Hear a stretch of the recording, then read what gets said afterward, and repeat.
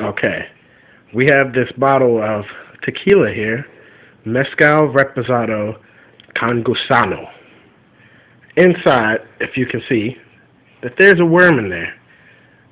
This bottle of tequila was imported, well, brought over straight from Mexico just for Stan's consumption. Now, what we're going to do is we're going to drink this tequila shots, and then my friend Stan here is going to eat the worm. Mm-hmm. It's gonna be good. Okay, you see our tequila, the bottle there with the worm in it. Ready? There's the worm. Show the worm. It's not a normal looking worm. So you taking a shot then eating it?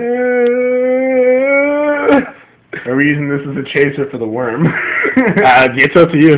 um, I'll chase it to be safe. Okay. Tequila. So, eat the worm.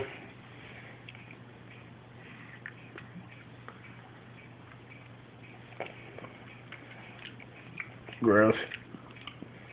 Tastes like tequila. Uh,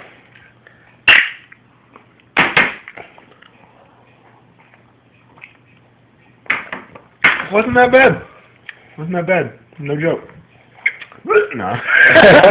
my friends, that's how you do it.